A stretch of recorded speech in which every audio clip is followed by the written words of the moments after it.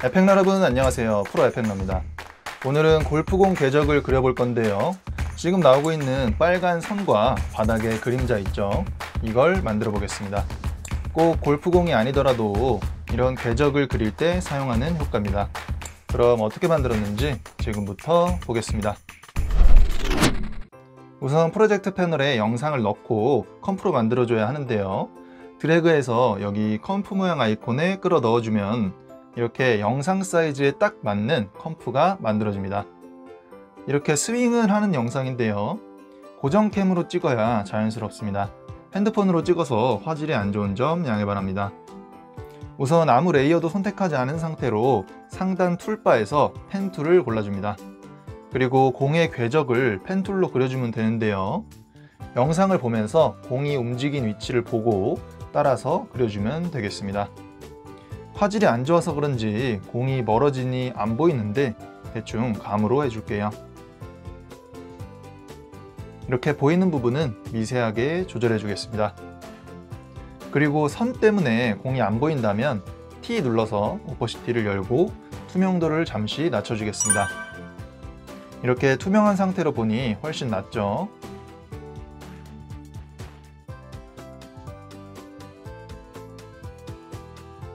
궤적을 잘 잡아줬으면 우선 스트로크의 옵션을 설정해 줄게요. 상단에 필 버튼을 눌러서 나오는 팝업에서 첫 번째 필 없음을 골라줄게요. 그리고 스트로크의 컬러는 빨강으로 해주겠습니다. 이 정도가 좋겠네요. 두께도 적당히 조절해 주겠습니다. stroke의 끝부분이 싹둑 잘려 있는 모양인데 동그란 모양으로 만들어 보겠습니다. layer의 화살표를 열어서 shape 1 속에 stroke 1을 열어보면 line cap이라는 옵션이 있는데요. 여기를 butt cap이 아닌 round cap으로 바꿔줄게요. 좋습니다. 끝이 동그래졌죠. 두께도 다시 적당히 조절해주고 이번에는 멀어졌을 때 선의 두께가 얇아 보이도록 설정해 볼게요. 이걸 잘해줘야 자연스럽습니다. taper라는 옵션을 열어보겠습니다. 그리고 end length를 100까지 올려서 끝부분의 두께를 없애주겠습니다. 지금처럼 하면 너무 얇으니 어색하죠? 이때는 아래쪽 End Width를 살짝 올려주면 됩니다. 15 정도가 좋겠네요.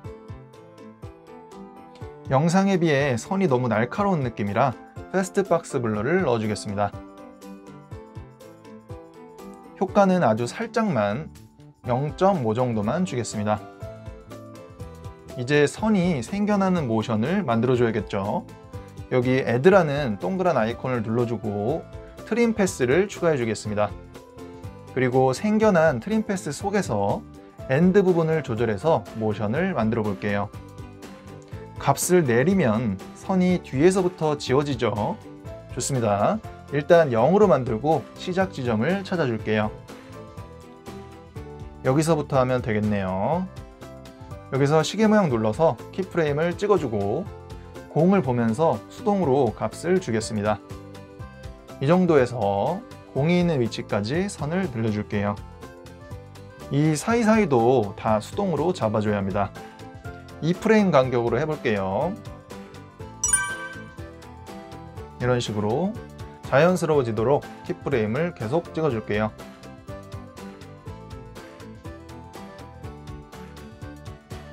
영상 화질이 안 좋아서 공이 안 보이는 관계로 뒷부분은 대충 만들어 볼게요. 플레이해 보면서 자연스러워지도록 수정해 줍니다. 좋습니다. 궤적이 다 만들어졌네요.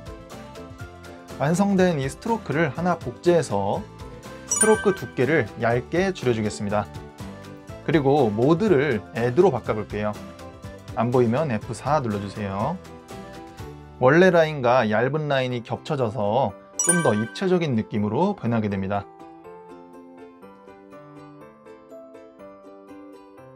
좋습니다. 이번에는 그림자를 만들어 줄게요. layer를 선택하지 않은 상태로 pen tool을 이용해서 아래쪽에 이렇게 선을 그어 줄게요. 그리고 컬러와 두께를 조절해 줄게요.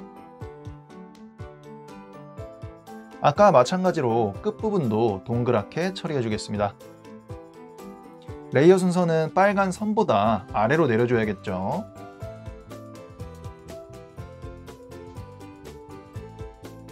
이것도 Taper 열어서 끝으로 갈수록 얇아지도록 하겠습니다. 그리고 멀어질수록 그림자가 옅어지도록 해볼게요. shape layer에 마스크를 씌우려면 우선 pen tool이나 도형 tool 선택하고 여기 이 아이콘을 누르고 그려주면 됩니다.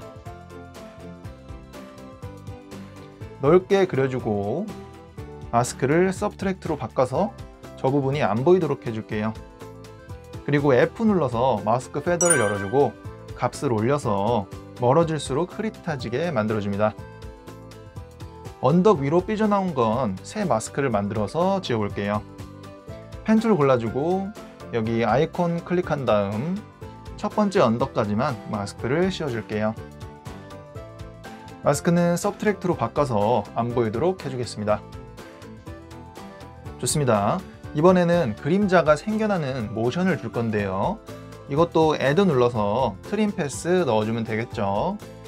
End를 0으로 키값 찍어주고 적당한 위치에서 100으로 만들어주겠습니다. 그러면 이런 식으로 T 눌러서 그림자를 좀 투명하게 해주면 골프공 궤적 효과 완성입니다. 자, 어떤가요? 스트로크를 이용해서 공의 궤적과 아래 그림자를 만들어 봤는데요. 이번 튜토리얼의 핵심은 스트로크의 두께 변화와 shape layer에 마스크를 씌우는 방법입니다. Taper 기능이 오래된 버전에 없을 수도 있으니 확인해 보세요. 그럼 다음번에는 더 유용한 tutorial로 찾아오겠습니다. 구독, 좋아요 안 하신 분들 부탁드리고요. 댓글도 많이 달아주세요.